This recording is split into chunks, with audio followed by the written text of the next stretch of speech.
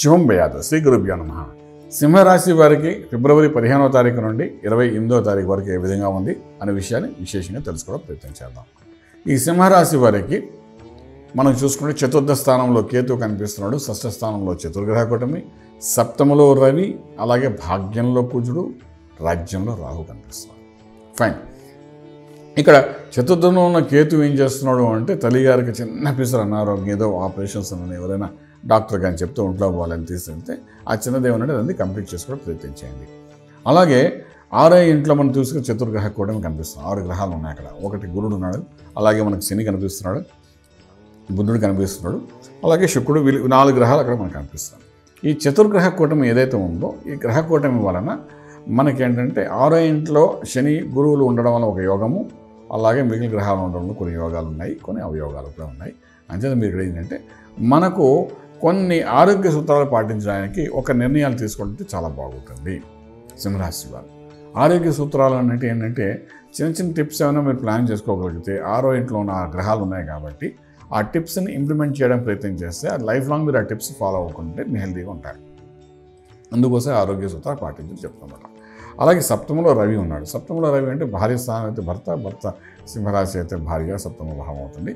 ఆ రవి అంటే రాశ్యావతి ఏడేంట్లో ఉన్నాడు అనమాట ఉన్నాడు కాబట్టి కొంచెం బర్నింగ్ ఇష్యూస్ పర్సనల్ లైఫ్లో మనకు అనిపిస్తుంది. వివాహం చేసుకున్న వాళ్ళకి భార్యాభర్తల మధ్య చిన్న పిసరు చిరాకులు పరాకులు పెరిగే అవకాశం ఉంటుంది. దాన్ని తగ్గించడానికి ఏమాత్రం అవకాశం ఉండదు. ఎందుకంటే ఏంట్లో డైరెక్ట్గా రవి ఉన్నాడు కాబట్టి బర్నింగ్ ఇష్యూస్ అయితే కొన్ని ఉంటాయి.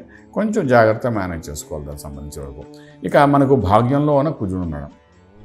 భాగ్యంలో రాజయోగం ఇచ్చే కుజుడు అక్కడ ఉన్నాడు సొంత ఇంట్లో ఉన్నాడు కాబట్టి ఏదో ఒక రకమైన ఒక అదృష్టాన్ని తండ్రి ద్వారా ఇప్పిస్తారు.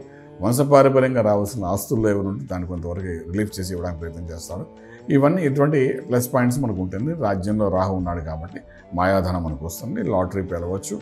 లేదంటే ఎక్కడైనా మనం చిన్న చిన్న ఎగ్జామ్ చిన్న చిన్న లాటరీ కాకపోయినా కొన్ని కొన్ని షేర్స్ మార్కెట్లో పెడుతుంటాం. షేర్స్ మార్కెట్ కూడా ఒక రకంగా చెప్పాలంటే గ్యాంబ్లింగ్ అంటాం. సో అందులో పెడితే అది కూడా ధనం పెరగవచ్చు పెరిగి దానివల్ల లాభం రావచ్చు. ఇటువంటి కొన్ని సంకల్ప ప్రధానంగా కొన్ని జరిగే అవకాశాలు ఈ సింహరాశి వారికి టెన్త్ హౌస్ రాహు ప్రభావన జరిగే అవకాశం బాగా కనిపిస్తాం అయితే అన్నిటికీ ముఖ్యంగా ఈ చతుర్థంలో ఉన్న కేతుని మనం కంట్రోల్ చేసుకోవాలి. అలాగే సూర్య ఆరాధన బాగా చేయాలి. కేతు వల్ల మన షాడో ప్లానెట్ ఆఫ్ రవి అంటాం కొంతమంది కుజుడు యొక్క షాడో ప్లానెట్ అంటారు. ఏదనుకున్నా కూడా ఏంటంటే రవి యొక్క ఆరాధన చేసుకోవడం వల్ల డైరెక్ట్గా మీకు మీ ఇంటి ఇల్లాలు పర్సనల్ లైఫ్లో ఉన్న డిస్టర్బెన్సెస్ కొంత రిలీఫ్ అవ్వడానికి అవకాశం ఉంటుంది. కాబట్టి సూర్య ఆరాధన అంటే సూర్య సంబంధమైన ఆదిత్య హృదయం కానీ ఆదిత్య కవచం కానీ సూర్య కవచం కానీ ఇలాంటి ఏవో బోల్డ్ ఉంటాయి. వీటన్నిటిని సూర్యోదయ కాలంలో ఆరంభం నుంచి చదవడానికి ప్రయత్నం చేయగలిగితే కొంత రిలీఫ్.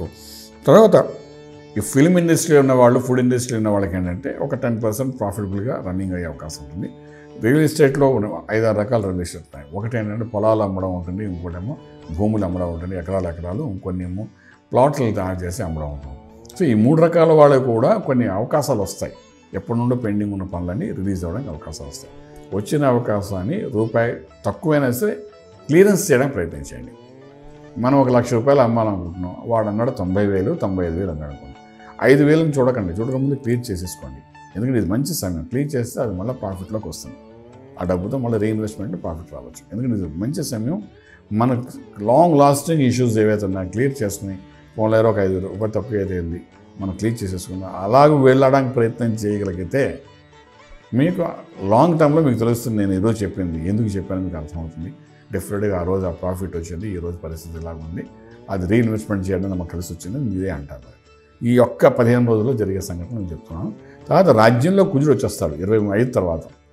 అంటే వృషభంలోకి వస్తాడు వృషభంలోకి వచ్చినప్పుడు ఏం చేస్తాడంటే మీకు ఎస్టాబ్లిష్ చేస్తాడు మీ ప్రొఫెషనల్ ప్లేస్ని ఎస్టాబ్లిష్ చేయడం ప్రయత్నం చేస్తాడు మళ్ళీ ఇంకొక ఇన్వెస్ట్మెంట్ ప్లాన్స్ ఒకటి ప్లాన్ ప్లాన్ చేస్తాడు సో రాజ్యంలో వచ్చిన కుజుడు మనకు ఫలితం ఒక రకంగా ఇస్తాడు భాగ్యంలో ఉన్నవాడు ఒక రకంగా ఇస్తాడు. సో కుజుడు ట్రాన్సిస్ జరుగుతుంది కాబట్టి వాడు భాగ్యంలో ఉన్నప్పుడే మీరు అది ట్రేడింగ్ చేయడానికి ప్రయత్నించండి డెఫినెట్గా మంచి ఫలితాలు వస్తాయి. సూర్యాధానం చేసుకోండి. రాజమార్గంలో రాజ్యం పొందగలుగుతారు. శుభం బియాదు పూర్తి వివరాలకు సంప్రదించండి. Shri Vedamata Gayatri Jyotishyalayam. Brahma Srimantha Suryanarayana Sharma. Srinilayam first floor one nought one. Sai Vaibhav layout Chitrapuri colony Khajaguda Hyderabad five lakhs eight. సంప్రదించవలసిన phone numbers triple eight triple five nine one four seven. Triple eight triple five nine one four eight. Nine eight four triple nine six triple four.